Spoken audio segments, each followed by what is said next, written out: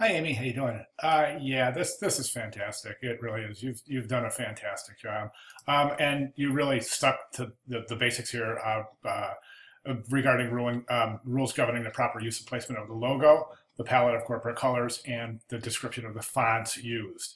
So this is, I, I just think this is fantastic. Now, keep in mind, you know, as as we as you move along in your student career, you're going to be asked to create um, other style guides. They're going to end up being a little bit more complex than this. So this is really a bare bones basic minimum uh, kind of style guide. And it's a good introduction to, to how to create a style guide. And I think you just nailed it. I really do. I mean, the, the whole color and the, the posture and the layout really loan themselves very well to your Guardian Network Security uh, final logo color choices and type choices. So really fantastic job there. I want to go through a couple of comments. Um, I'm fine with you selecting this this logo. I think it's I think it works perfectly fine.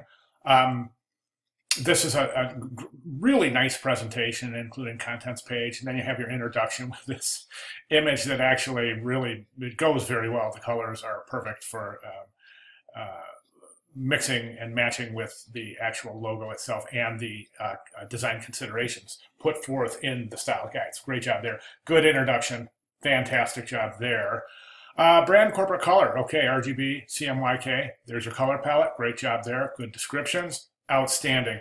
Next page, typography. This page has, has got some weird layout. I, am not sure what happened here, but this layout got pushed. This typeface got pushed all the way to the left here.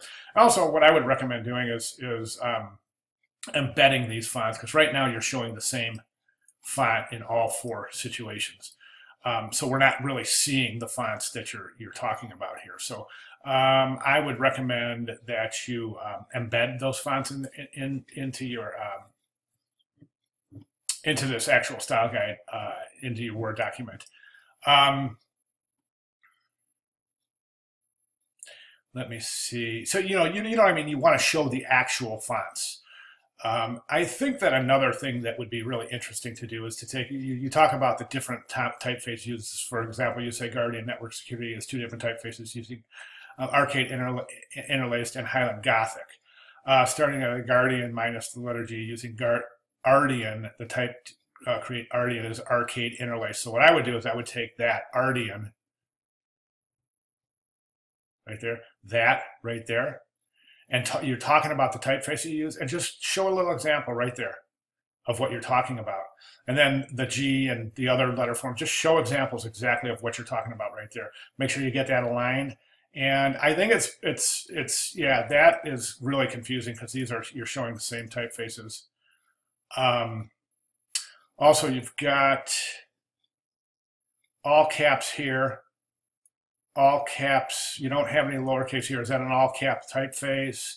You have lower caps here. Here you've got your lowercase letters, but it starts with a cap A, so you want to fix that. Good job showing your numbers. Fantastic job. Okay. Um, okay, this is right here. Guardian Network Security Baby is at a minimum of 2.9 inches. Is that 2.9 inches high or 2.9 inches wide? If it's 2.9 inches wide, give the corresponding height when that is at 2.9 inches, you're going to have a height. And I would say the height was, is going to go from the bottom of the logo to the top. I'm sorry, the bottom of the um, monogram to the top of the G. So that would be your width by your height. Um, and then over here, these look fantastic. I would present these a little bit larger in the um, actual presentation. So, I mean, this letterhead could be, you know, so we can really see exactly what it is. Right now, it's really difficult to see what your type says here without really getting right in there. Um, I'm zooming right in there. Excuse me. Um, and speaking of zooming right in there, I want to do that because I want to see something here. Mm, okay, so uh, we'll move forward. This is fine. This is absolutely fine. Um, I would not put a border around the, the uh, card. I would just let the card bleed off to the, the, the, edge of the card instead of putting that border in there. I, I don't think you need it. Um, I think it combines the, the verbiage on the card.